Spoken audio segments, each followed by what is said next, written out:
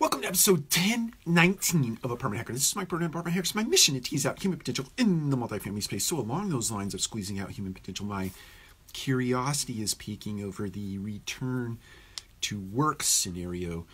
Um, my, my imagination tells me that any semblance of the past is not going to be obviously uh, representative of the future, but it is paramount, I believe, in my heart of hearts, to get people back together in an office space. So I'm very curious what your company, whether it be in the multifamily space or you watch this uh, uh, from uh, the perspective of another industry, what is your plan to get people back in the office, or do you have a plan to get people back in the office? I know at Radco Residential, we're running up against uh, a lease in date uh, at the end of 2021, and the idea is to find some sort of alternative space, um, more subscription uh, based model, whereby we choreograph our meeting times so that we do spend time together on a weekly basis, uh, at least once, if not uh, two times.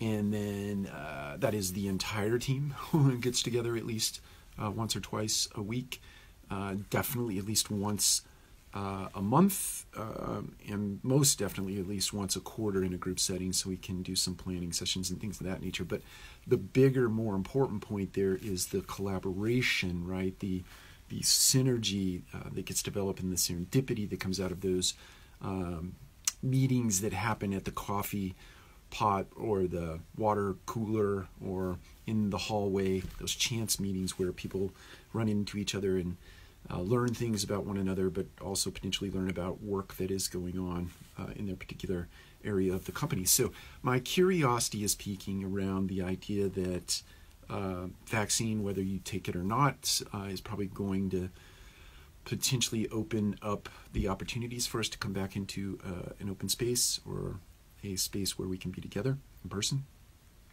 I know we started doing that many, many, many months ago at Radco um, but I'm curious what your company is thinking as it relates to that. Take care. We'll talk to you again soon.